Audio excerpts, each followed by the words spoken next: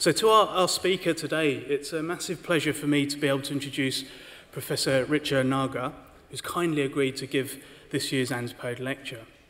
Um, Richa is Professor of the College in the College of Liberal Arts at the University of Minnesota and currently also the Russell M. and Elizabeth M. Bennett Chair in Excellence, as well as the uh, Beverly and Richard Fink Professor in Liberal Arts at the University of Minnesota. She's based in the Department of gender, women and sexuality studies um, at the University of Minnesota, but also shares affiliations with the departments of geography, Asian studies and American studies, um, which I think kind of reflects the ways that Richard's groundbreakingly undisciplined work cuts across the humanities and the social sciences, and also cuts across the borders of languages, genres, disciplines, and not least geographical locations as well. She holds undergraduate degrees from, uh, an undergraduate degree from Lucknow, India, a master's degree from Pune, uh, and a PhD from Minnesota, all in geography, so we're able to claim you as a geographer, just this afternoon at least. Um, Richa's work will be familiar to, to many of us here this afternoon. Her early research focused on the everyday geographies of gendered and racialized community politics amongst four um, Asian communities in Dar es Salaam in Tanzania, which was the subject of her PhD research.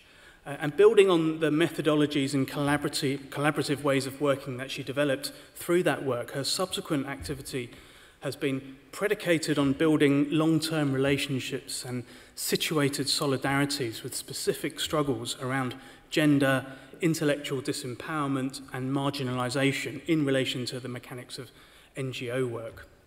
Her work with the Sangtin writers in the Sitapur district of Uttar Pradesh, India, which commenced in 2002, is, I think, exemplary in this respect. Beginning as a, a, a collective of nine women writing, thinking, and together discussing the NGOization of their everyday lives and the subsequent forms of disempowerment they experienced, the project resulted in the publication, first of, of the book Sangtin Yatra in 2004 in India and in Hindi, followed subsequently in 2006 by the English language book Playing with Fire, Feminist Thought and Activism Through Seven Lives in India, published by the University of Minnesota Press. Uh, and these books, um, certainly the latter, I think, will be well known to many of us here. They have, I think, been pioneering projects of transnational feminist scholarship uh, and of the co-production of knowledge as well. And, and besides it, its grounded political interventions, I think this work has helped scholars to think methodologically about just how to go about breaking down the boundaries between the academy and our field sites and communities, whilst also retaining and making the best of the, the protected space that universities offer for the development and discussion of post and decolonial thought and praxis. Richard's work with the Sangtin writers has also helped to constitute a broader movement now comprising several thousand farmers and labourers in Uttar Pradesh. Her 2014 book, Muddying the Waters, Co-authoring Feminisms Across Scholarship and Activism, is a further reflection on the post and decolonial potential of feminist and collaborative research. It's a book that confronts and embraces the, the messiness of solidarities and responsibilities forged through stories, encounters, fragments, translations, and what Richa refers to as a necessary opening to radical vulnerability on the part of the researcher. It plays, I think, not just with the utility and logic of the neat positions and categories that we all too often fall into or are forced to slip into in the academy, but also it, it, it's a book that plays with the form and, and genre of academic writing and its relationship to the political in really interesting ways, I think. Um, Richard is also the, the co-author and editor of uh, many other books, uh, five that I could count, actually, um, in both Hindi and English. And she's the author of many other excellent articles uh, and book chapters, which have been published in our own disciplinary journals like Antipode, Gender Place Culture, Social and Cultural Geography, the Singapore Journal of Tropical Geography, but also interdisciplinary journals like Science, Critical Asian Studies, and Economic and Political Weekly. When the theme of this year's conference was, was announced, Richard was a, a, an instant and obvious choice for us at Antipode, and we're thrilled uh, that she accepted our invitation to present the lecture here today, because I think she's, she's consistently been a, an exemplary figure in de- and post-colonial praxis within our intellectual, our own intellectual landscape. So today Rich is going to be uh, presenting a paper that builds on, on previous work um, but connects to a new book project, I believe. Uh, the title of our talk is Retelling Stories, Disrupting the Social, Relearning the World. And, and after her talk, of course, we'll open up for questions and discussion. But please now do join me in welcoming Richard to the stage.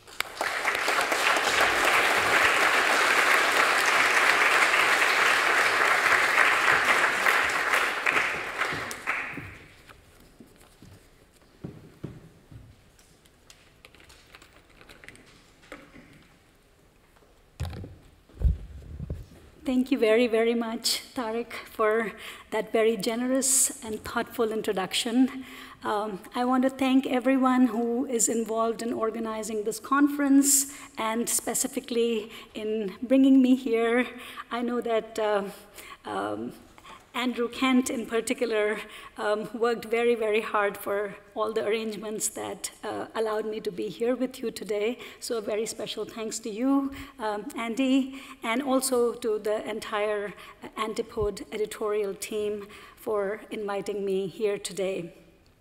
Um, I'm, I'm honored to be invited to give this lecture, and I arrive in this space with a sense of deep humility. I recognize that for each one of us who is afforded the means or tools to step in with an authority to make knowledge claims, there are millions of others whose words and knowledges we stand on, but who have been systematically erased from or made invisible on the pages and spaces of formal learning, except, of course, as objects and subjects who must be researched, discussed, and at times uplifted by the experts. In the context of the historical and ongoing violence of these absences and erasures, it becomes important to ask who else do we bring with ourselves onto the page or stage? Who are the voices we rely on for weaving our stories, but whose tones and accents remain unheard and unacknowledged in our scripts? Who are the people who remain forgotten in our citational practices and for whom the conventional citations of the Academy remain meaningless? Can we hope to achieve greater justice in and through the ways that these unheard tones, stolen voices, and erased knowledges are rendered through academic practices? On the opening pages of his book, Politics and Emotion, the Song of Telangana, Himadeep Muppidi reminds us of the arts of storytelling, of proverbs and parables that can mend old tears and give birth to new solidarities. He talks of words drunk in the palm oil of stories and songs that can make bodies dance and sway toward new horizons. But he has a poignant reminder for us even as the narrator, whose own body migrates and writes in spaces along the banks of both the Mississippi in Minnesota and the Musi in Telangana, Muppidi realizes that his writing can only happen in the confines of small rooms secured with colonial and neo-colonial pipelines. From these small rooms where books flow ceaselessly out of diverse terminals, he can hear a lot of agitation out there. This agitation, he says, is made up of the voices and rhythms of the villagers and villages near and far. He can feel their music, their excitedly, mu their excitedly moving bodies. But the books on his walls, English and Telugu alike, muffle the sounds from these places. Muppidi writes, and I quote, Sometimes the books are helpless against the music and dancing, and I feel a need to venture out of these small rooms and wade into these new sources of epistemic energy. More often than not, however, I content myself with catching some notes and pulling together worldly pages on what those beats do to me or mean to my body. Writing them down in the confines of these rooms is more compelling than joining the dances in the streets and towns and villages sprawling outside. And then he asks, could it be because in this world of small rooms, politics should always be parlayed into newer and newer fabrications? Or is it because my academic body an assemblage of so many words is incompetent at engaging politics otherwise? End of quote. My current project, Hungry Translations, retelling stories disrupting the social, relearning the world, is fired in many ways by the restlessness of those who believe in cracking the book studded walls of those small rooms by bringing them into vibrant, even disturbing conversations with the bodies out there that perform and protest. I engage the truths that often get muffled when words from one place are translated into more words of another language and robbed of their accents and meanings. When the words are not accompanied by the embodied vocabularies and gestures that give them life after they're uttered. I'm concerned about that which cannot be heard or felt through words alone, especially when those words are written down and caged in familiar fonts in a predictable sequence of black and white pages.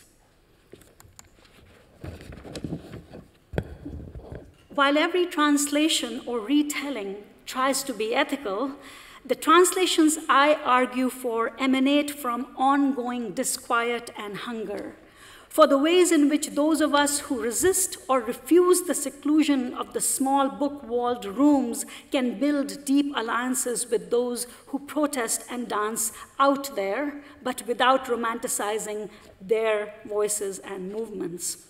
For perpetually hungering for ways that can make our translations abide by the terms of the struggles we stand with, even as they escape the limits imposed by the disciplined terms of the academy. So to begin performing these hungry translations, I would like to introduce some of the companions from whom I have learned a few things about the undisciplined arts of translation and also about the embodied politics of hunger and knowledge making.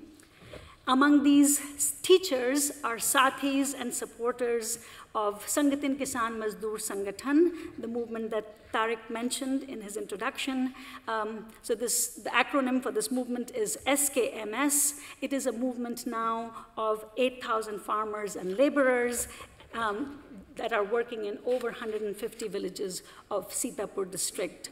And just quickly, Sangatin is a term of deep reciprocity. Um, it is original, in, in the language Awadhi, it is meant only for women, but the movement has claimed it more widely without making that kind of gendered distinction between women and men. Uh, Kisan is a farmer, big or small. Mazdoor is laborer, and um, Sangathan is the term for organization.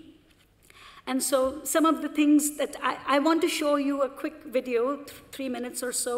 It's an old video, about seven, eight years old, but it provides an important context for this long-term um, alliance um, that, again, uh, I think Tariq very helpfully summarized, but I want to show you a quick, quick video here. The writing and publication of the book Sangatin Yatra between 2002 and 2004 paved the way for what became Sangatin Kisan Mazdoor Sangathan, a movement of 5,000 peasants and laborers. चोला माटी के राम एक का भरोसा चोला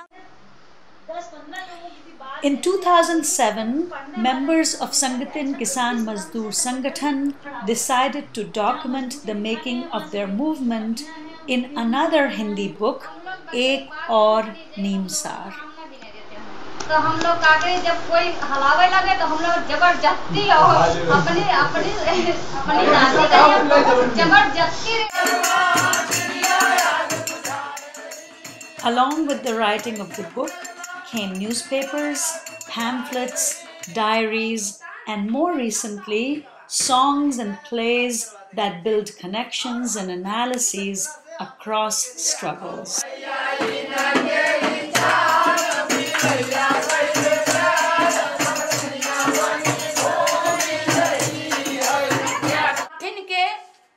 बना करके लोग बड़ी बड़ी कोठियां तैयार कर देते हैं और ऐसा नहीं है कि कोई मिश्रिक और पिसामा में है।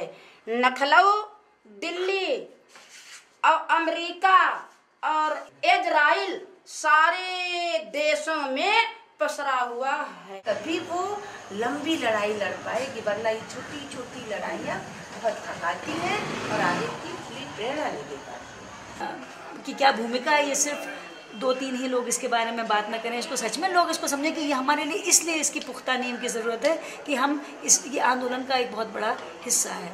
चीज़ें हैं लोगों के पास, ठीक है? वो शब्द नहीं होते हैं लेकिन अगर जब ऐसी कुछ चीज़ें चलती हैं तो वो जोड़ते ही हैं, अपने आप अपनी चीज़ें चलती हैं। हम लोगों को समझने की ज़रूरत पड़ेगी, दूसरे लोगों को, कि वो कैसे The journey has also sought to destabilize dominant notions associated with fieldwork by making academic and activist forums located in the United States of America a part of Sangtin's field sites.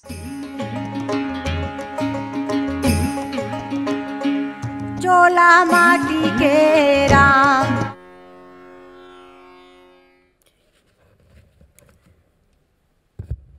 So SKMS fights for dignity and justice for its sathis or members and refuses what Joyce King calls epistemological annihilation. Uh, King uses this term epistemological annihilation building on Sylvia Wynter, and it specifically refers to the negation, total abjection, or denial of one's being. In SKMS's case, of course, epistemological annihilation is committed by those who see its members as the uneducated poorest of the poor or as people belonging to the margins or being on the margins. SKMS emerged, as you heard, from this book called Sangatin Yatra, or A Journey of Sangatins, that eight rural women activists and I undertook in Hindi and Awadhi between 2002 and 2004.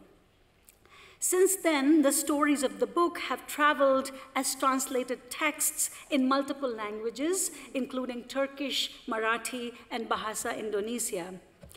Along with this dance of the text, the people's movement in Sitapur has become part of my everyday life, regarding of my, regardless of my physical location. At different times and with, and with different intensities, I have worked with the Sathis as either a scribe or a theater worker or a co-strategist from near and afar. As I have wrestled with the intricacies and dilemmas of my task as a storyteller of the movement, my labor and passion as a member of the US Academy have become necessarily centered on grappling with questions of ethical responsibility and co authorship within and across borders and hierarchies in ongoing alliance work. So, to develop my argument today, I share with you three short stories from my alliance work in SKMS. The first story is called Standing Together, and through this story, I introduce Sunita and Tarun. Everyone who finds out about it in the village of Kumrapur rushes to the SKMS dairy. It isn't every day, after all, that the meetings of the Sangathan involve an actor from Mumbai. SKMS has invited Tarun all the way from Mumbai to Sitapur to help create a play, and the energy that is emerging in the village as a result of his arrival is intoxicating. And here you see um, Surbala and Tarun, and the puppet is called Rani. A cluster of nine people gather on a tiny koer khatia, threatening to break the poor cot into pieces, while another six people sit on the periphery of a rectangular wooden takht where Tama sets himself up with his dholak next to Pita, Kamlesh, and Richa Singh. As people pour into the meeting ground, Reena and Shammu, who everybody calls the pillars of the dairy, rush inside to to get two more daris, and they spread the dari behind the cot and the takhat. The extra seating, of course, vanishes in seconds as enthusiastic young women, both the bahus and the bidiyas, the daughters-in-law and the daughters, they grab a spot wherever they can find it. Outside the circle of seated people stand dozens of people, young and old. When children who try to peek in find their gaze blocked by adults, some men plant these children on their shoulders, while others bounce them up on the seats of the bicycles that the passers-by have halted at the scene of the theater workshop on their way to the fields. But where is Sunita? Someone asks. Sunita, an active Sathi of SKMS, lives right next to the dairy. Those from Kumrapur already know that she cannot join us because her young daughter was burning with high fever. Someone murmurs that the daughter might have, might have been attacked by the polio virus. There's a shared moment of pause, as if to collectively recognize the sorrow and dread that Sunita must be feeling and then begin the vigorous beats of Tama's dholak, with Pita's voice reaching the sky, while Saraswati Amma claps and dances, and the perky glove puppet called Rani jumps around, causing commotion under, direction, under the direction of one hand after another. And I'll show you some of these glimpses here. So here is Tama on, at the dholak, Pita is singing, and then Kamlesh and Sarvesh are watching. This is Saraswati Amma uh, talking about all the uh, problems with the National Rural Employment Guarantee Act. Uh, the, the, acronym for this is NREGA. It is, um, it is an act that the government of India passed to give a minimum of 100 days of work to all the people who didn't have work in the villages. And it has been a source of great corruption, but also uh, for many movements, uh, such as SKMS, they have been struggling very hard and continuously to make sure that the government fulfills its promise. So here Saraswati Amma talking about the corruption under NREGA, and here is Saraswati Amma in action with other women um, and men of the SKMS. And here is Reena playing around with the puppet called Rani. And all the guys are watching the women in action. And here is Sunita. Sunita can hear every sound of her sathis acting and singing while she tends her daughter. She finds it impossible to stay away from this scene of spirited activities. She asks a friend to take care of her daughter for a couple of hours and joins the group. Grabbing the dholak from Tama, she circles around the crowd, asking for punishment for all the corrupt village development officers who steal the wages of the laborers and leave their children to die. Even as Sunita performs the politics of the National Rural Employment Guarantee Act with rage, several of us cannot focus entirely on what she's saying or doing. Our hearts keep thudding with fear about what awaits her at home at the end of the rehearsal. As a brand new visitor to SKMS, Tarun feels especially uncomfortable, even a bit guilty, about the circumstances in which Sunita has been moved to participate in the theatrical activities.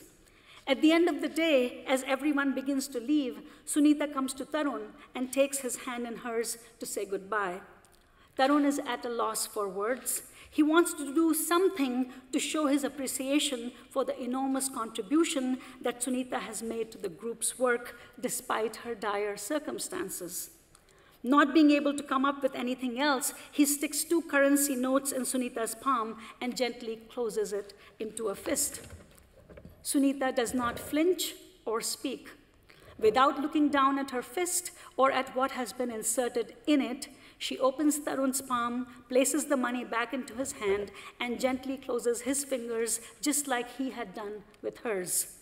For a wordless second, she looks straight into his eye and then says softly and firmly, You keep this, bhaiya. Give us your dua by standing with us. Dua means blessings, and bhaiya means brother. I now move to my second short story. This is called My Voice Rising in Your Chest, and through this I introduce Tama. Suddenly, the sun comes out and brings a brief respite from another wintry day in Pisama. It is that time of the year when the cold, damp, and heavy fog rules for weeks at a stretch. Opening his left opening his left hand as if to catch the sunshine between his palm and fingers, Tama pulls the dholak closer to him. His almost sightless eyes cannot see the many pairs of eyes that are watching him, but his fingers gently explore every line, curve, and texture of that dholak. Watching Tama adjust his dholak with that familiar longing, the sathis at the theater workshop with Tarun immediately stopped their discussion on what kind of play they want to create on the current state of corruption that the villagers are subjected to under NREGA. They know that Tama wants to sing, and they know that Tama wants to sing now.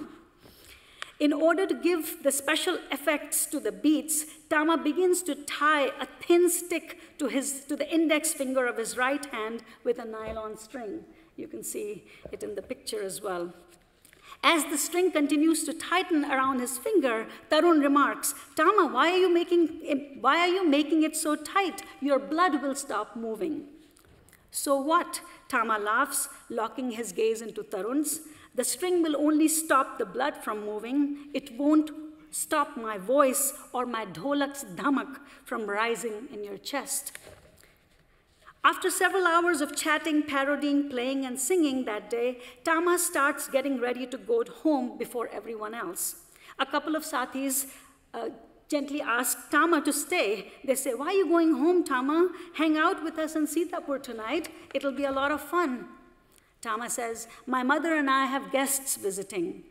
We are also your guests. Tarun smiles warmly at him. Why not stay with us tonight? Tama is visibly moved by Tarun's affectionate insistence that acknowledges a special kinship between them.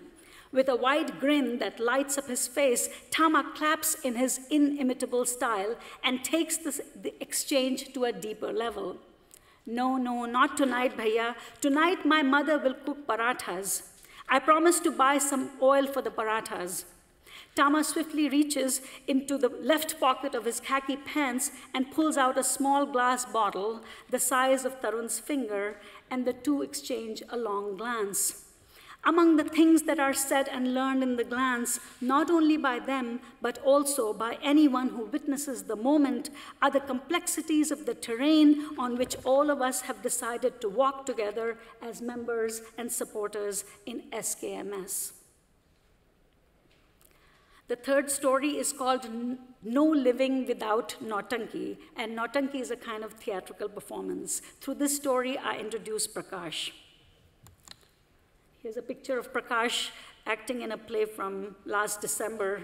Uh, we created a play against uh, the government of India's demonetization policy in Sitapur. So here's the third story. We are meeting as a group by Skype after a very long time. Kamal, Rambeti, Richa Singh, Mukesh, and Prakash have all, all joined from Sitapur at night time while I'm sitting with my morning cup of chai in St. Paul. Usually, the practical problems in trying to arrange such a meeting are too many to make it worth the trouble. It is just simpler to connect by phone and to wait for the face to face meetings when I go back to India on my next trip. But the year 2015 has been different. Sitapur, along with the rest of the state of Uttar Pradesh, has been hit by a severe drought, the likes of which the small kisans and mazdoors of Uttar Pradesh have not seen in a long time. Throughout the month of February, Kisans, big or small, in village after village, have put a match to their fields. Burning the crops down to ashes has been easier than trying to deal with the crop rotting in the field. It is during one of these weeks when the fields are burning that Richa Singh says to me on the phone, Some of us would like to meet you by Skype in order to discuss the future of our theater work. It takes us a couple of weeks to find a time when Prakash and Rambeti can travel from their villages in Pisama block to the SKMS office in Sitapur town from where the group can Skype. When the meeting begins, we start with the ruined crop of wheat and mangoes. Hearts are so heavy that it is difficult to sustain the conversation. Then Prakash changes the subject suddenly. He says, Aren't we going to talk about Nautanki in this meeting? I say, sure, but it has been such a hard time. I didn't want to assume that whatever was, was important to the group two weeks ago is still the most important thing to discuss now. Prakash assures me that there's no reason for me to hesitate. He says, since there are no crops left, and he says it very matter of factly, since there, no, since there are no crops left, the hunger for Nautanki has increased. Prakash's words are profound and passionate. Even through the hazy screens and barely visible images, we all feel each other smile serenely. I remember what Prakash said to me when we first met several years ago. He said, Natak Nautanki make you an addict. Once you get high on them, you remain intoxicated for life. I can live without food, but without Nautanki, there is no living now.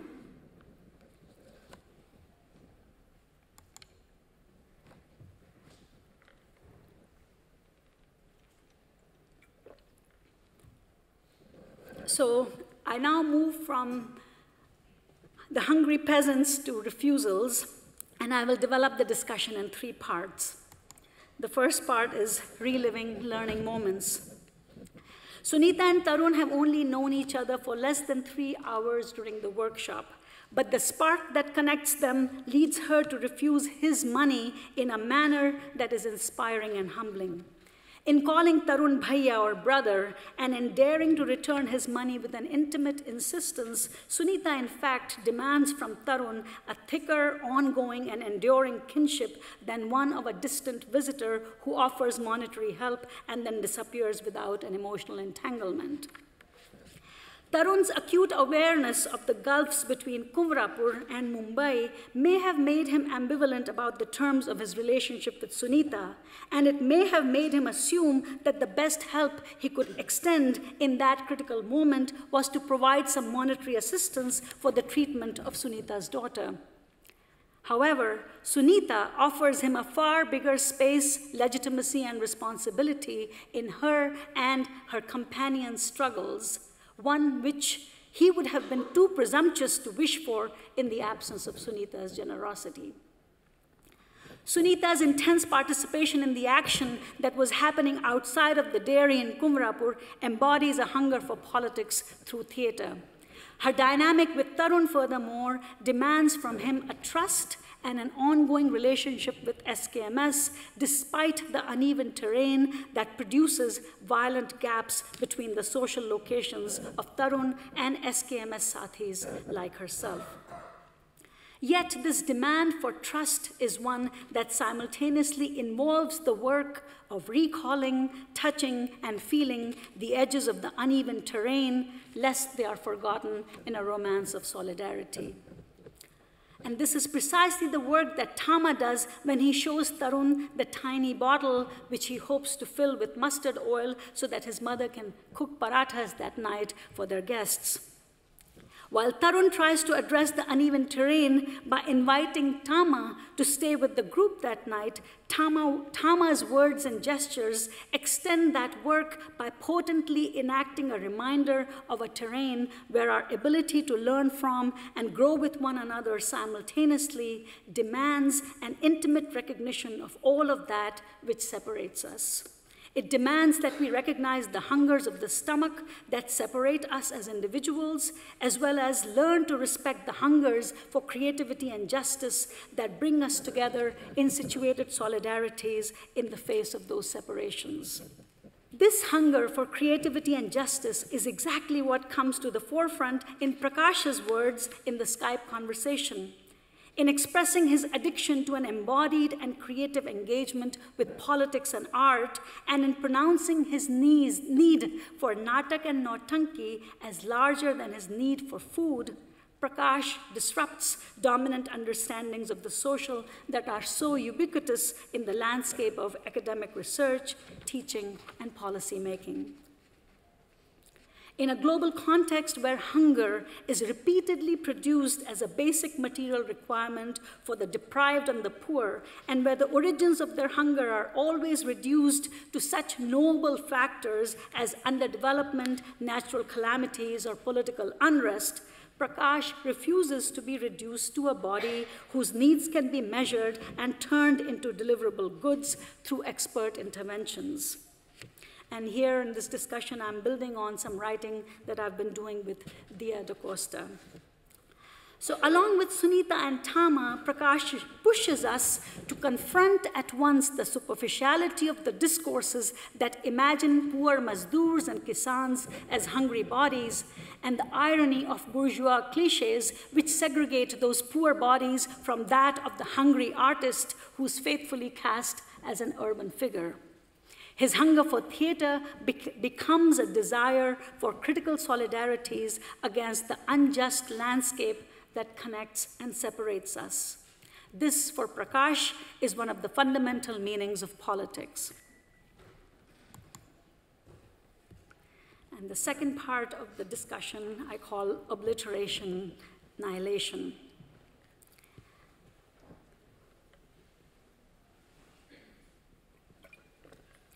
Experts on the poor often have no trouble recognizing that those who live with the hunger of underfed bellies are also hungry for justice. Sadly, however, the same experts often refuse to appreciate their hunger for justice as a nuanced creative and intellectual hunger governed by a social imaginary that is often unintelligible through dominant mindsets. In reducing that complex hunger to a hunger of the belly, the archetypal sign of poverty, which can be alleviated by income to buy food, these dominant mindsets either shrink Sunita, Prakash, and Tama to bodies that must be fed, developed, or aided during humanitarian crises, or they simplistically celebrate them as uniquely dynamic actors on their local stages.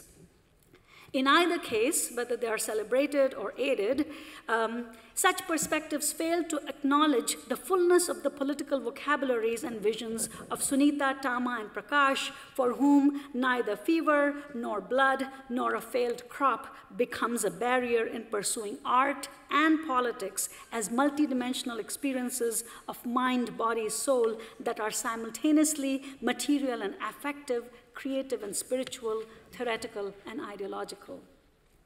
This raises the question how do we disrupt our inherited understandings of the social that perform epistemic violence by obliterating or annihilating? How do we begin to recognize that which we have been disciplined not to anticipate, hear, or appreciate? How do we learn to learn from Prakash, Tama, and Sunita in ways that do not have the effect of annihilating them and anxiously bringing the focus back onto our own disciplinary frameworks and debates. Quynh Pham confronts the violence of disciplinary annihilation in the context of international relations, or IR, when she asks, she says, Why aren't peasants visible in IR, and how has the willful oblivion of their knowledge been enacted over and over so methodically and imperviously? As a subaltern figure whose presence and voice are powerful and ubiquitous, yet effectively foreclosed from a convention bound field, the peasant reveals for Pham IR's limits of intelligibility. At the same time, peasant remains a perpetual subject of crisis as well as an object of intervention. Pham notes this contradiction, and she says, associating peasant with alarming problems such as backwardness, poverty, illiteracy, hunger, and suicide, the global machinery of development aims to elevate the peasant, the quintessential figure of underdevelopment, out of crisis into an improved life in its larger mission to improve the world.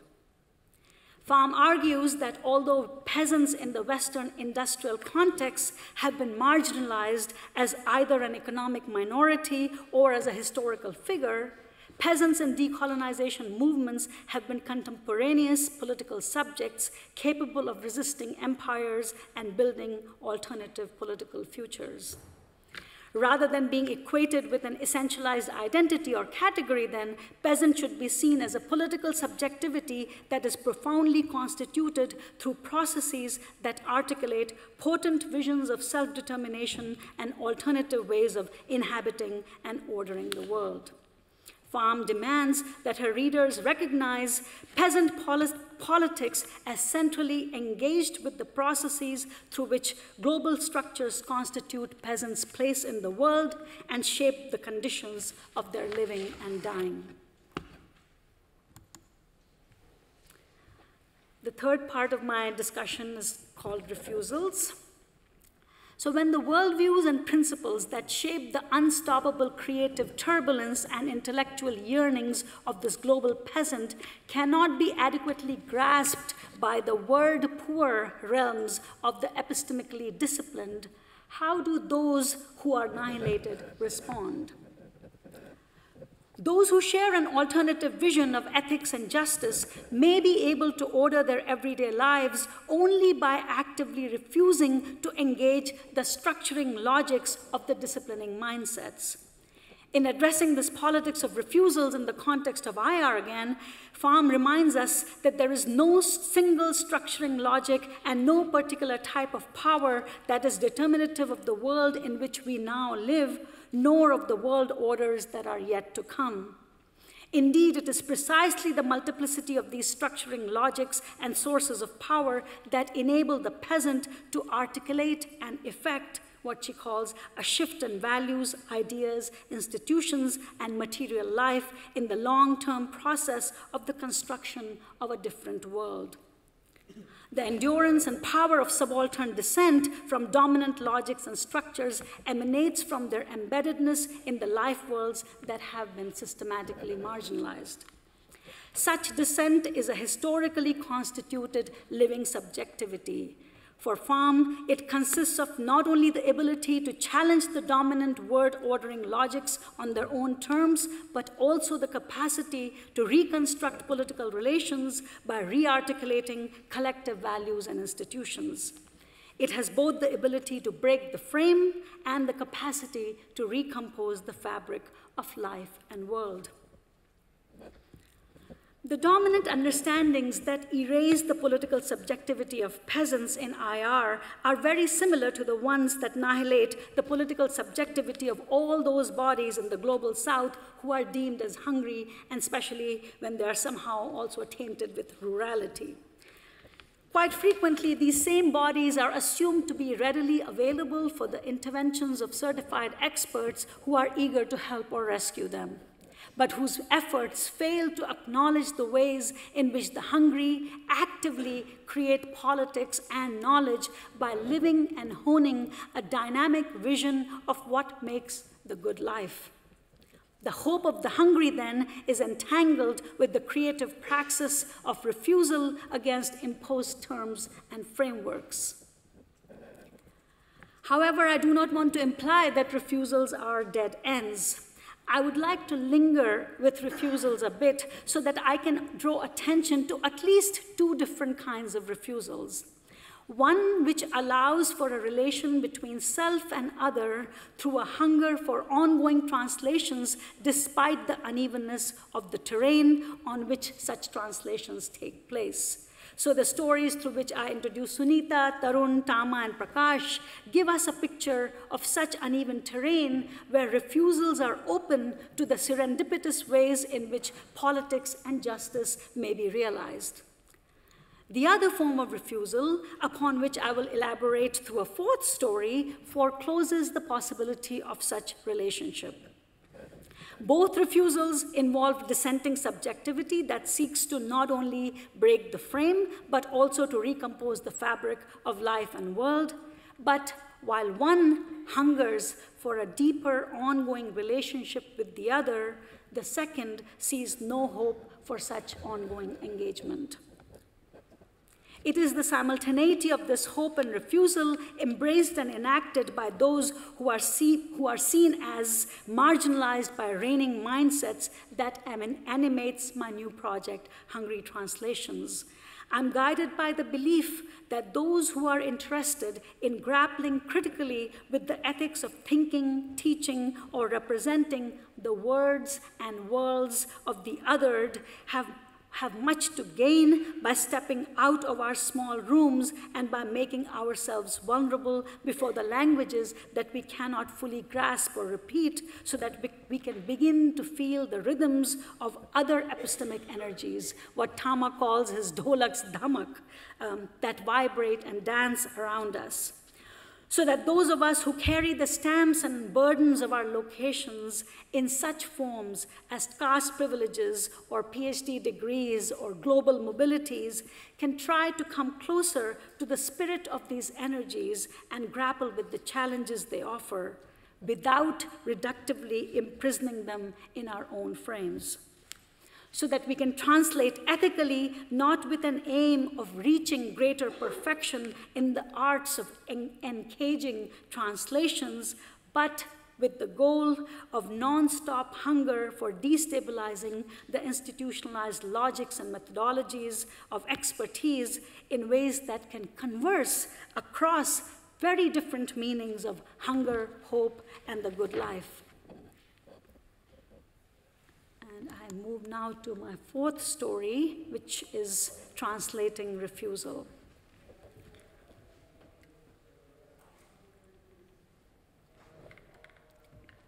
Of the myriad people whom I bring with me when I write on a page, one is my colleague and Sangtin, Ram Beti. You see her here in this picture, a Dalit farmer who is an important leader of SKMS. I share with you a moment of refusal articulated by Ram Beti in the following words that she said to me in April 2013 in Phnom Penh, Cambodia, where CGIAR's research program on climate change, agriculture, and food security, CCAFS, had invited us to a workshop on climate change, innovation, and gender. Ram Beti said, and I quote in translation, they say they want to learn from us, but I say we can never be partners as long as they, they keep talking in the same sentence about my cow's carbon emissions and the carbon emissions of global corporations. You can translate my words to them and theirs to me, but if they remain blind to our lives and truths, there can be no dialogue on this unjust terrain. End of quote. In 2013, the US based CGIAR described it itself as the only worldwide partnership addressing agricultural research for development whose work contributes to the global effort to tackle poverty, hunger, and major nutritional imbalances and environmental degradation. That was CGIAR's definition, description of itself. Its CCAFS's workshop on climate change, innovation, and gender was attended by representatives of small NGOs working, working in Bangladesh, Cambodia, Nigeria, Kenya, and Honduras, and by experts from Europe and North America who sought to encourage sustainable innovations among their partners in the global south by helping to reduce the carbon footprint. After reading the work of Sangtin writers, one of the workshop organizers contacted me and said that they wanted to learn from the work of, um, from the work of Sangtins and from our alliance work. So I researched the organization, and after asking some hard questions, I invited this person who had contacted me to come to Wintry St. Paul so that we could arrange an in depth Skype conversation, uh, multiple conversations, but at least one um, long conversation with multiple people from the movement. Um, and this was, of course, happening across 8,000 miles. Um, so these representatives of SKMS who traveled for the Skype conversation also traveled through dense fog to get to a location from where they could Skype. The objective behind these arduously undertaken journeys was to make sure that given CGIAR's history, SKMS could trust CCAFS's desire to learn from the Sathis. And if so, whether this trust was enough for SKMS to invest its energies in participating in the conference. Over the next four months, between December and April, I conveyed to the workshop organizers that the trip had to be worthwhile for Ram Beti to leave her standing crop in the field for several days and to suffer the humiliations necessary to get a passport and visa to travel from Sitapur to Phnom Penh. The incentive that CCAFS offered was a promise of a grand total of $5,000 to help with farming innovations that would benefit landless Dalit women farmers. Here was the deal. If SKMS continued its learning partnership with CCAFS, then 25 SKMS women, including Rambeti, could have used that grand total of $5,000 to grow, to grow drought-resistant crops to gain more food security.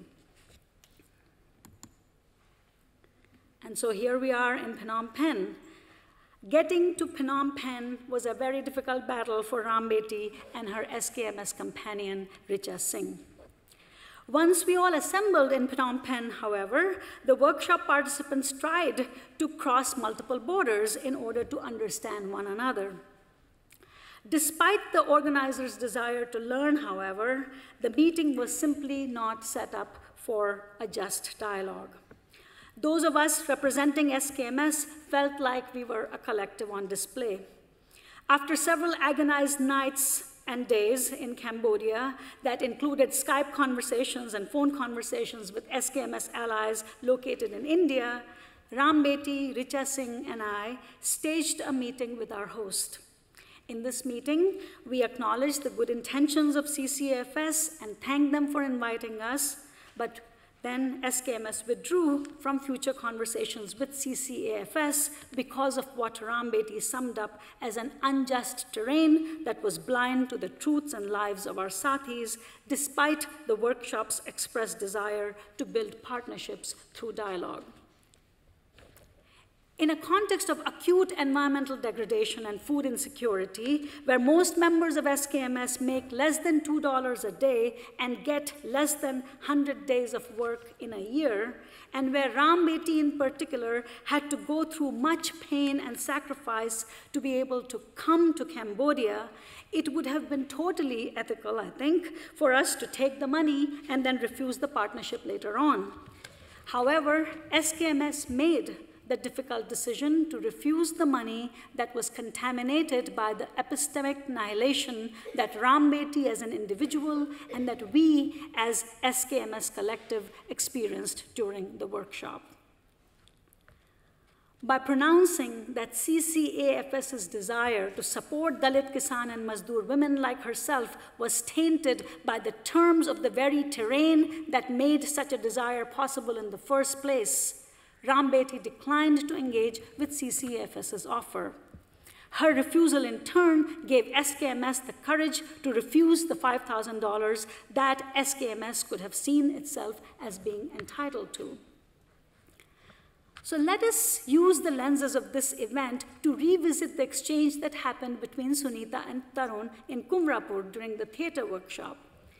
In both cases, what was at stake was an uneven landscape that made the terms of transaction unacceptable to members of SKMS. In that case, Sunita said to Tarun, keep your money, just stand with us uh, through your support by giving, giving your duas, by standing with us. In this case, Rambeti and then SKMS said, we don't need CCAFS's money. But here in Phnom Penh, CCAFS's mode of engagement with the lives and knowledges of SKMS Sathis had decisively foreclosed any possibility of our hosts becoming a bhaiya in the way that Tarun was being drawn into a circle of kinship and responsibility by Sunita. SKMS had made a leap of faith in making a trip to Cambodia in the hopes of enabling genuine co learning, but the workshop had made it clear that this had only been wishful thinking. The political geographies of subaltern struggle are increasingly configured in ways that necessitate encounters with difference, inequality, and hierarchy. And these encounters involve simultaneous translations across uneven terrains. When these translations are read as inherently unjust by any of the parties, then there is little hope for dialogue. In a global context of intricate diversity, intensifying conflicts, and increasing violence, how can we reconceptualize the responsibility of translating multiple and often conflictual local diversities? So far from being a scalar or a territorially defined concept, I invoke the local to include the regional, national, and socio-cultural, as well as the specific articulations or vernaculars that emerge from scientific expertise or theoretical expertise. So in that sense, the languages that we speak in, in spaces like this are also part of these uh, very specialized vernaculars that, that are local. So in thinking through this issue, I have found it useful to work with the concept of translation as discussed by Christi Merrill. If, following Christi Merrill, we understand translation as both carrying across and telling in turn, where what can be told is negotiated afresh in each round, then what possibilities of justice can be created by rethinking translation as an enterprise of ethical and ever open mediation across space, time, and struggle? Can the unevenness of the terrain be addressed in ways that allows systematically marginalized and erased conceptions of justice to get a fairer hearing in the global dialogues of the expert so that they are not epistemologically annihilated or obliterated? What does it take to reimagine translation as a dynamic, multi-directional process of ethical and politically aware mediation among otherwise impermeable local diversities, a process that is always open and hungry for new political possibilities that we may never have imagined before.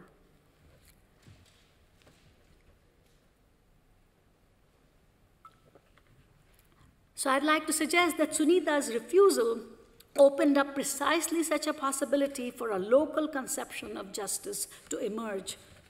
Her way of returning Tarun's money reduced the unevenness of the terrain by shifting his status from a Mumbai based acquaintance who could afford to give her some cash and theater training to a bhaiya whose involvement in the workshop had now made it his duty to stand with Sunita and her sathis in their collective struggle in sharp contrast to the CCAFS hosts whose already fixed definitions of food insecurity and gendered gaps, as well as the roles of the donor and the recipient, foreclose the possibility of hungry translations, Sunita's move was marked by an affective imagination that craved justice for herself and her sathis through the possibility of ongoing translations without erasing the significance of that which separated Tarun from the Sangathan.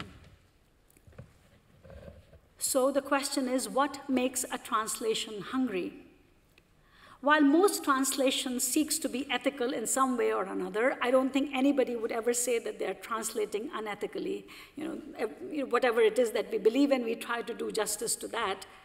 But hungry translations are marked by a desire for an ongoing negotiation of justice. The political potential of hungry translations lies in this yearning to keep translation open and flowing. This kind of hunger in a translation cannot be demanded or achieved through mechanical protocols. It can only emanate through ongoing embodied alliances that produce an intense relationality among those who occupy different locations in predominant epistemic hierarchies. This relationality defines a situated solidarity where our minds, bodies, hearts, and tongues can become radically vulnerable in ways that embrace diverse ways of knowing and co creating. Such hungry translations can disrupt projects that seek to educate, modernize, or emancipate certain categories of bodies through globalized vernaculars that reproduce a landscape of intellectual enfranchisement and dispossession.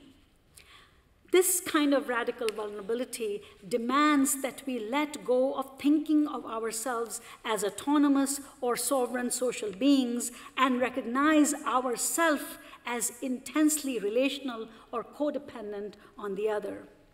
Whatever we learn, whatever we come to be, becomes deeply contingent on what each one of us is prepared to give to the collective journey that unites the I and we with the you and they.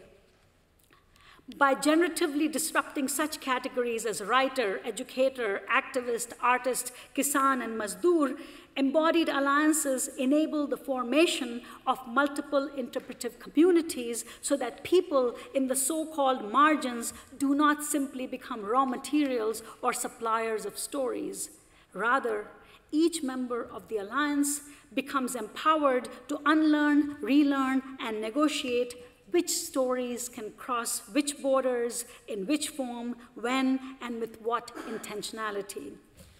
Such storytelling moves across contexts and sociopolitical idioms and vocabularies, across forms and genres, and it recognizes how different forms of labor that constitute protest much, must shift with every staging according to context and according to audience, and each time pushing for new forms of co constitutive re theorizing, re strategizing, recalling, and retelling. In this translational praxis, the meanings of the political cannot be learned in a fixed formulation. Rather, this praxis is a complex dance between, among, and across multiply located discursive sites without a stable origin or destination. This praxis unsettles and destabilizes the cultural and material economies of intellectual enfranchisement and disenfranchisement that are embedded in the dominant notions of the expert and in dominant ways of author authoring and authorizing. It allows a mode of becoming and being and co creating in and through a continuously unfolding politics without guarantees. A desire to partake in and contribute to hungry translations requires that we do not merely travel to the othered worlds that form the basis of our knowledge claims. Rather, we must dwell in those worlds and embed ourselves in the relationships and hopes that form those worlds, so that that which has been othered in dominant imaginaries may emerge differently in our consciousness and conscience and in our ways of being. This desire for a deeply aware relationship between our acts of translating and the politics of world making is not reducible to a longing for improving the quality of our research. It is also not about producing better critical ethnographies, and it is not an argument for greater caring for the other nor is it a yearning for that is driven by some kind of romantic notion of activist scholarship where we do our activism outside the academy and then return to the academic mode to narrate or theorize the subjects and objects of that activism. Instead, this is a hunger for an intense transformative engagement with social worlds that can inspire intellectual and political agitation by remaking how we locate ourselves in relation to the bodies, stories, wisdoms, and worlds that we move between and that we represent and reimagine through our words and motions. It is an insistence on building abiding trust and reciprocities between unequal regimes, those which produce the regimes that produce the big and small rooms studded with books, reports, and case studies on the one hand, and those that refuse the norms, frames, and expectations on, uh, sorry, um, the, those that refuse the norms, frames, and expectations of what is spelled out in those pages on the other. I'm going to just read that last sentence again. Um, so it is an insistence on building abiding trust and reciprocities between unequal regimes, those which produce the big and small rooms studded with books, reports, and case studies on the one on the one hand, and those that refuse the norms, frames, and expectations of what is spelled out in those pages on the other. Now, this hunger for full bodied engagements and translations that I'm arguing for must refuse comfortable closures or transparent renderings of meanings. It must have a provincializing effect on our knowledge making paraphernalia, our terms, concepts, our theories, our methods. In reconceptualizing politics as a shared and unending labor on an uneven terrain that makes perfect translation impossible, hungry translations must destabilize our inherited meanings of the social and make our knowledges more humble, more tentative, and more alive to the creativity of life. These translations must fearlessly search for poetic justice and social justice through a continuously evolving praxis that animates collective consciousness without compromising the singularities that constitute each community of struggle. These hungry translations must ensure that the collective labor of weaving, dream, weaving dreams and tunes for a better world can keep, keep moving, inspiring, without believing in pre proclaimed arrivals. Thank you very much.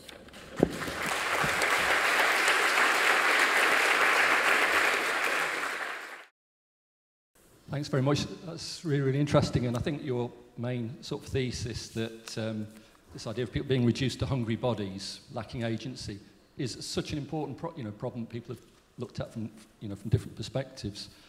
Uh, and the term that used epistemological annihilation is pretty hard hitting, but it's probably quite accurate as well. People not featuring as political subjects, agents of their own lives and their own destinies. But uh, the question I've got is I just wonder if there's a kind of almost the opposite danger too of the one that you've, uh, you've alluded to. If we dwell with and embed ourselves within communities that we wish to show solidarity with, if we engage with them on hopefully I'm not caricaturing you here, but you'll, you'll get the point.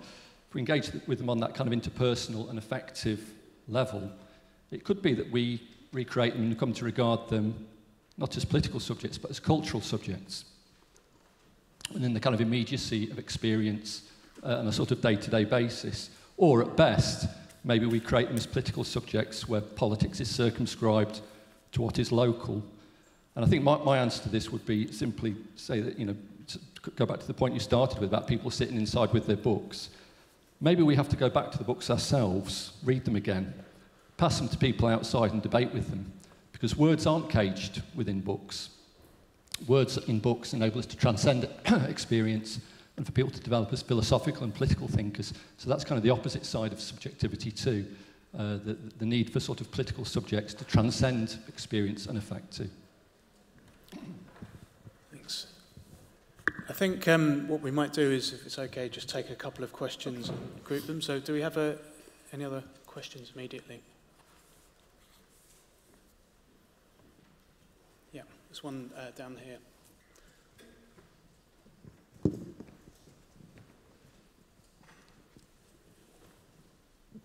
Thank you for the presentation, and I was uh, really happy to see all of the really creative work um, uh, being done in Uttar Pradesh um, with, the, with the whole crew.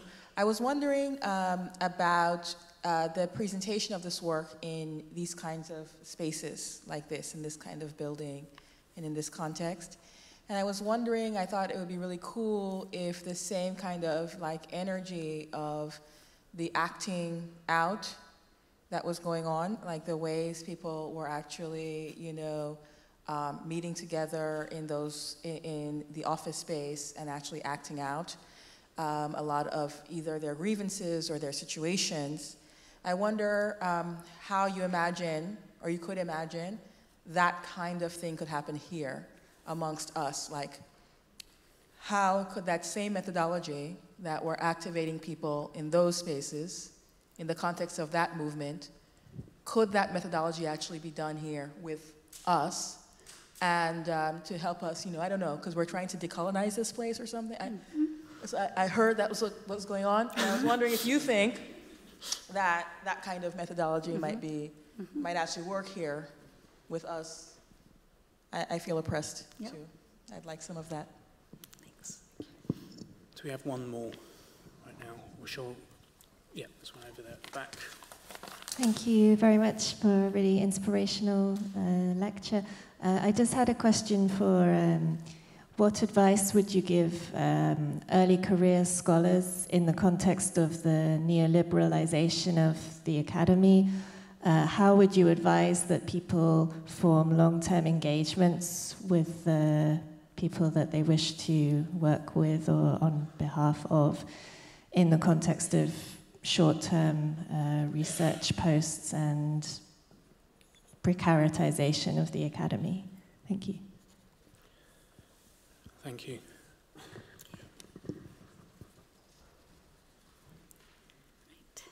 Thank you so much for the questions. Um, I think I understand the second and the third question better than I understood the first. So um, let me just, just repeat what I think the question was, and if I've missed something, if you could um, elaborate again, I would appreciate it.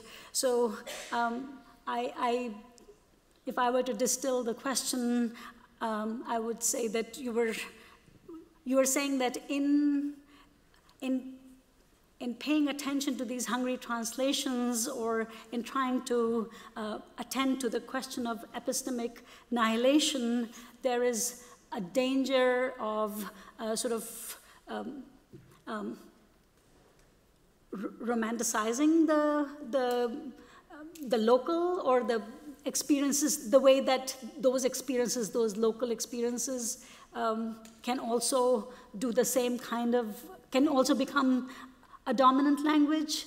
Or if I've missed that, if you could just elaborate on it, I would really appreciate it.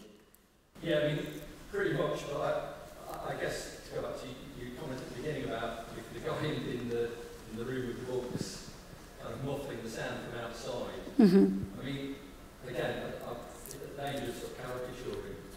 You know, yeah. Sense, those words in, that, in those books and the philosophers and political thinkers who, who wrote them. Right those are also things we need to make available to people. Um, in addition yes. to, not instead of, the, the kind of interpersonal, you know, these yep. sort of interpersonal solidarity as well. Of course, historically people have shown solidarity with people that they've never met, right. countries they've never been to. Very often it's been a unifying political idea that's achieved that, not actually meeting them. Right. Okay. Yeah, and I, I, I agree with you. Um, I think uh, the the quotation I, I begin with from Himadeep Muppidi, uh, I think it's, uh, it's a very, it's, it's, it's provocative and compelling. Um, and what is interesting about the way he talks about this, uh, he, he's specifically referring to the movement in Telangana. Um, and, and I think what he's saying here is that it's not, you can't really make a distinction between books produced by experts in English and books produced in Telugu. So in that sense, he's also complicating that kind of distinction that, oh, here is, you know, here is our, uh, our theory or our knowledge versus the, you know, the foreign knowledge. What he's really saying is the ways that um, the academic experts become more and more comfortable with those, with those rooms that are that operate through books alone. And, and I think, um, again, his concern is more that uh, when we make our arguments, when we make, um, when we make our conversations in, in, these, in these spaces, then we are only responsible to what has been circulating in those spaces. And how do we then uh, disturb the, the frameworks by bringing something that we have never anticipated before. So I, I think it's more an argument for um, pushing us to anticipate or hear. So, and a lot of times, uh, what happens in the academic uh, conversations is that we see critical ethnographies or activist scholarships as ways that um, we can address that problem. That, you know, we, because we don't want to only be contained in those, uh, in those book-walled rooms, we will then bring the stories um, through critical ethnographies, or we talk about uh, different ways and different methods of doing uh, activist scholarship. But really the argument here that I'm making is um, to go past that and to say that um, that really what is, how do we, how do we actually talk about the theories that are embedded in those, those very important moments that we just, you know, um, we just often ignore. So, um, in a, if I were to just writing, if I were to just write a critical ethnography, I may not be uh, spending so much time thinking about what that particular exchange between Tarun and Sunita was, or what was it that Tama was trying to do when he was showing that little bottle of oil, or what is Prakash trying to do when he's saying very deliberately, it's not just something that he's saying, he's, he, he's, he's making a very important comment when he's saying that now that there are no crops left, and this is, this is in the context of again, acute food insecurity, this man is saying there are no crops left, so now our hunger for natak and nautanki has increased. So I give those examples as that they are they, they push us each of these instances push us to think about what is there in those um, those theoretical political vocabularies and how do we become more attuned to them. Because not to separate them from what we think but again uh, the the, the project here is to, to have a conversation between those unequal regimes so that people like uh, Tama and Sunita and Prakash, they don't, they don't just dismiss the academic research as something that has got nothing to do with their lives. So how do we forge these sustained, deep, problematic, disturbing, complicated conversations and make that as part of our, our, our project, a long-term sustained project. So I think that's where I'm coming from rather than saying that, oh, now let's get rid of the books and just only um, talk about these stories. Does that, uh, okay, thanks. Um, yeah, the second question, uh, thank you for that question. Um, so this, this issue of how do we, when, when we talk about embodied alliances and when so many things are learned through the body, uh, you know, hungering together, rallying together, fasting together, um, then how do you how do you bring that energy back into these spaces where we are just used to listening to each other and you know just in in the form of words and sometimes you know just like it's it all just yeah there's just no dynamism that um, that is that defines embodied alliances. Um, so this is something that I've been uh, building in this book, Hungry Translations, and theater becomes a very important part of how we learn to, um, to, to actually enter into a mode of radical vulnerability. And um, and so I'll just share the example of a very specific exercise that I actually learned from a, a freshman uh, theater student uh, some time ago and then have been trying to translate that into these kinds of spaces. Um, and it has, it has actually worked really well. Um, you know, given that in a movement you learn in an embodied alliance, you know, over many years, but if, say, if we have a few hours together, how might we sort of begin to grapple with the basic principles. And I'll just, you know, I'll just share that with you. So, um,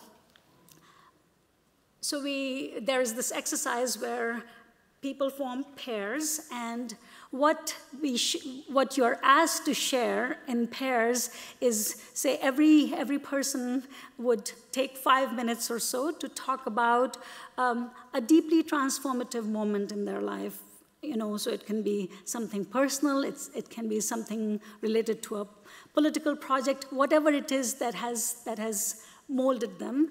And, um, and the partners share those, th that story for, say, five minutes or six minutes, depending on how much time there is and how many people there are in the room. And then um, when we come back to the, to the bigger group to share, then um, each person has to own the other person's story. So you have to actually, you can't check in with the other person um, to make sure whether you're telling their story uh, accurately. You uh, assume their identity and um, they assume yours, and then you have to uh, tell the story in an edited fashion. So, like, say, only two minutes uh, for each person to tell the story that they have heard. And the chances are that you will be uh, missing a lot of the details. Chances are that, um, you know, this is not going I mean, there will be some form of violence, but, but with that person present face to face, how is it that we start learning about the responsibility to represent? I think it's very, very important for those of us who are treated as experts um, to, to learn, to make this, internalize this, this, this process of becoming radical, radically vulnerable as um, you know, a long ongoing process. Um, and to be able to convey that to the people that we encounter in academic spaces and uh, to help them internalize that is, is what I think um, you know, is, is, is, a work that has to be embraced in relation to the kinds of things I'm talking about. And then the third question about um, neoliberalization of the academy um, and uh, becoming precarious in the academy. Um, I, I, I don't, I don't um, I don't know whether this was the intention behind the question, and again, please feel free to elaborate on that. But um, what I see in, in, in, in, the, in the comment that you made, what I see is a, is a, is a possibility for those for those deeper alliances to happen. So a lot of times in this work with the, you know, the now 15 years or so of working with um, the Sangtin Kisan Mazdoor Sangathan, one of the things that has been very productive for us is to actually uh, also talk about the academic spaces. You know, the neoliberalization of the academy uh, is not very different from neoliberalization of the arts as well as the neoliberalization of activism, right? I mean, the whole politics of NGOization is deeply connected to, to those processes of neoliberalization that you're talking about.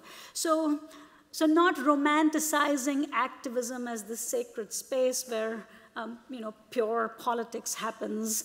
So the same, the same kinds of things that, um, that, that we are subjected to, the same kinds of precarities that we experience, the same kinds of labor politics that happen in the context of the academy, what does it mean to then make connections with that, deeper connections? So, you know, if, if we are in alliance with movements that are outside of academic spaces, how do we develop um, robust, coherent analyses that actually see all of these sites as, as entangled. And I think that entanglement is something that is essential for this kind of, um, this kind of work that I'm, uh, that I'm arguing for. And again, to return momentarily to the book project, the, what the book project does is it takes the, um, you know, the journey of the Sangtin movement from the writing, the, the, nine people writing together to the movement and how the movement has, um, has fought many battles over the last many years.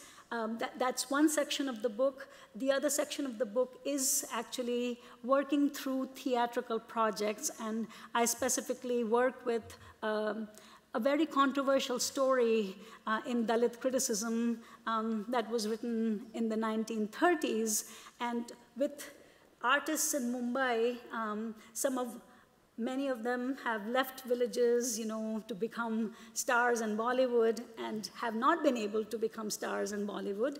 Um, and there, there was another group that works as, um, as domestic workers in the homes of TV, TV stars and film star, TV and film artists in, in this one area of Mumbai called Yari Road.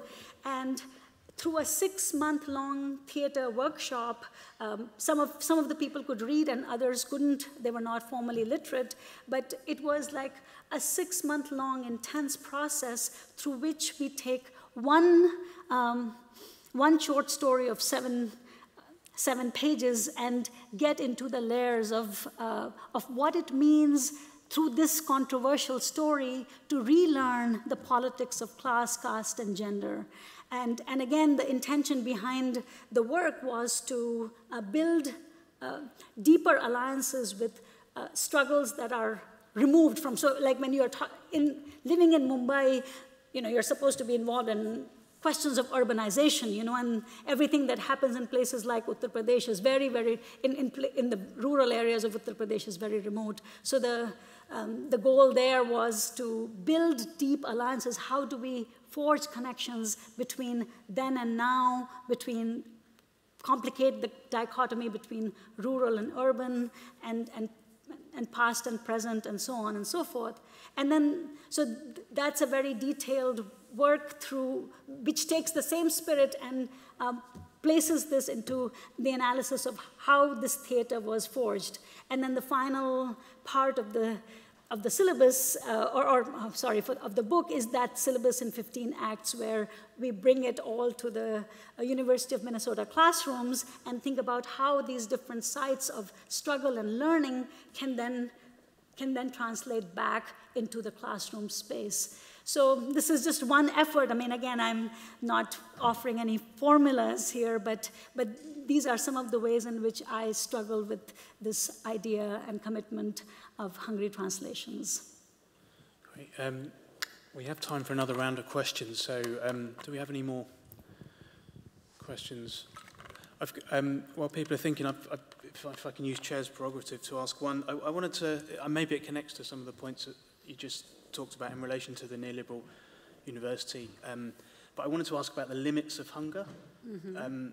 because the thing about hunger is it always needs to be fed, right? Mm -hmm. And um, neoliberalism is hungry as well, right? Right, right. Um, so I, I wonder whether another way of reading refusal um, is, is not through a, a desire to always want to translate it to find out exactly what it means, but also about a right to secrecy, mm -hmm. a, mm-hmm. a right to Absolutely. a right to say no, I, I'm not going to be your your your your raw material. I'm not right. going to be your data, so Absolutely. to speak, right? Yep. So I just wonder if there's if one can think yeah. Against hunger as well in yes. relation to the broader project. Yes. But, um, yeah. I wonder if there are any more questions now. Okay. All right. So yeah, that's that's that's wonderful. Actually, that's precisely what the spirit of the project is. Um, so, so yes, you know, uh, in fact, there is a, a poem that appears in, in, in this in this book that I'm working on, which is which begins with I'm not your data, I'm not your um, story, I'm not your vote bank, etc. Um, so, so that kind of refusal, you know, that the, the stories that cannot be translated, the stories that will not be offered for consumption, I think that is already, you know, that's an essential part, that's already an essential requirement of this landscape. But at the same time, I'm, I'm also responding, I think, you know, in, in a lot of post-colonial conversations, there's also been this, um, this sort of a point where people, like, you know, that nothing can be translated because translation is impossible. And it is through that, you know, it is to that impossibility of translation argument that I am um, responding to by this idea of hungry translation. So, um, so translation as an ongoing relationship that never achieves perfection, but that the the necessity of that relationship between self and other, if that is foreclosed, then there is no possibility of any translation. But yeah, but it's, it's hungry translation um, go, goes hand in hand with an active politics of refusals, yeah. refusals where not, you know, not every story is going to be um, served. Yeah. Um, yeah. I think uh, there's a question at the back there, yeah. Uh, my name is William Payne from York University in Toronto. Your question and, and one of the questions earlier reminded me of a question I had all through, which really is just a request. If you could, if you would mind telling us about the conversations you have had with the people whose stories you told today about telling their stories in a setting like this. Yeah, I'm, I'm expecting you, they, they know that you're yes. telling their stories. And so, for those of us that are more junior, could you talk, tell us about how you do that? Uh-huh. Does that make yeah. sense? Yeah. yeah. Just one, um, is there any last question that we can add on to that? Okay. okay. Yeah, um, yeah, good question. Um, I, I think, I mean, I, again, I, I don't think there is a standard way in which we can all step into this, but for me, um, being able to write, and so as, a, as somebody who, who has been writing with the movement, um, I do, I have the ability to be able to move between languages and also the, um, you know, the, the, the products or the, the, what is worded moves back and forth between different spaces in different kinds of forms. And um, so, so I can very specifically say uh, about the presentation here is that when I knew that the presentation was going to be recorded, it was very important for me to make sure that every single thing in this presentation was thing, were, were stories and analyses that the, the members of SKMS, specifically those who are represented, could stand with that.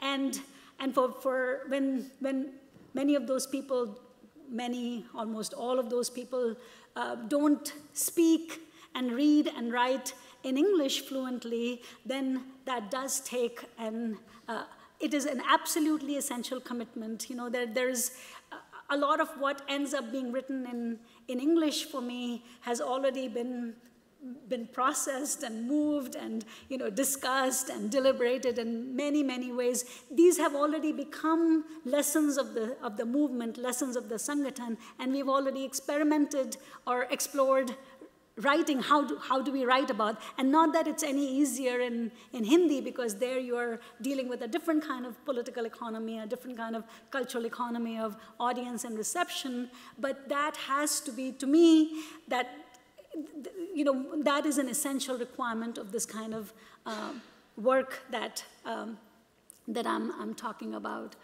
Um, so yeah, I, does, that, uh, does that answer that question? Thank you. Um, Richard, thank you so much for such a rich and thought-provoking and considered paper. I think lots of the issues you raise will stick with us for the next couple of days and, and well beyond. Um, and also for responding so generously to, to, uh, uh, and in considered ways to the questions. Thank you all as well um, for your questions. Uh, I'm not sure if we can do anything about the hunger, but you might be thirsty. so there is a drinks reception now. But um, just uh, for now, if we can just thank Richard for a wonderful talk. Thank you very much.